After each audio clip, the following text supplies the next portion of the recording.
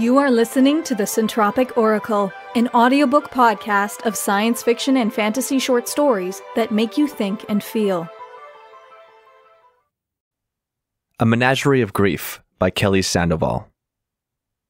When my daughter's chest fell and did not rise again, when her doctor looked at the monitors and shook her head, when it was over, really over, and still she lay there, my grief pushed its scaly head out of her chest.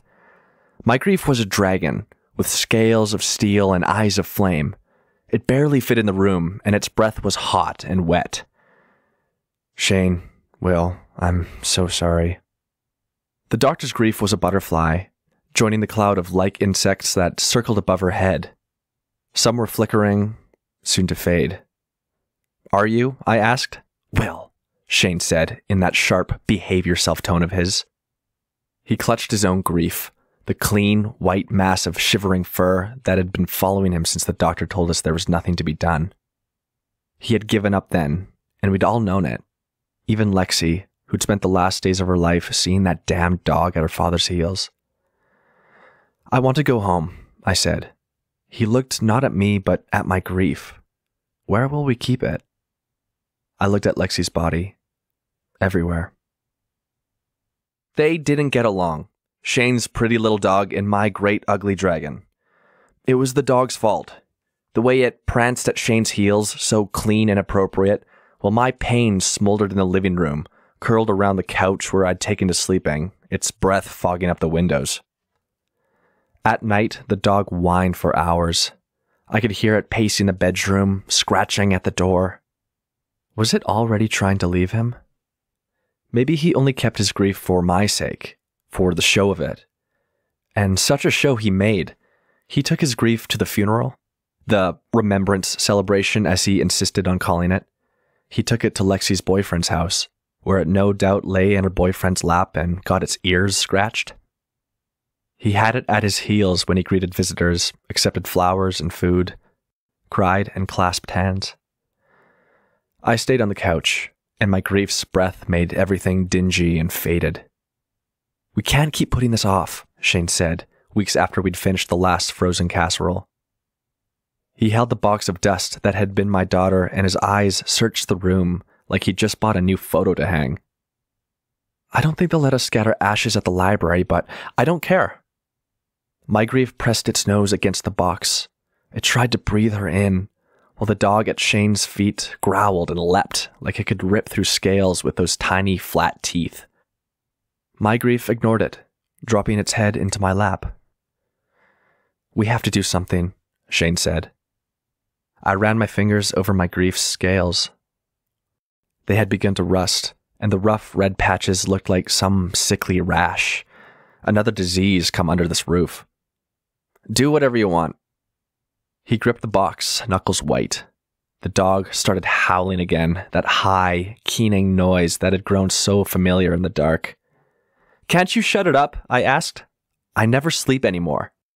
The dog tilted its head back and shrieked. I swear it did. A sound like falling, like watching your child exhale for the last time. Shane didn't even seem to notice. He was looking at my dragon. It doesn't mean you loved her more, he said, and his words were almost a whisper. It just means you're selfish about it. He looked away, shoulders slumped, and the box slipped from his fingers, hitting the carpet. It fell sideways, the bag spilling out. For one long, shaking exhale, he froze. Then he turned and walked down the hall. His grief followed with a new, mangy ghost of pain at its side. I knew that shape could see Shane leaving in the lines of its ribs. He always gave up first. I was the stubborn one. It had been a good thing once.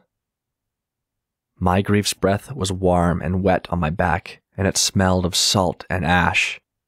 I picked up the bag that had been our daughter and held it against my chest as my grief tore at me with rusty claws. Stop. Just stop. I turned so we stood nose to nose. Its mirrored pupils reflected my bloodshot eyes. How ugly we'd become. She's gone. It isn't that my grief grew less as I faced it. only it took up less space.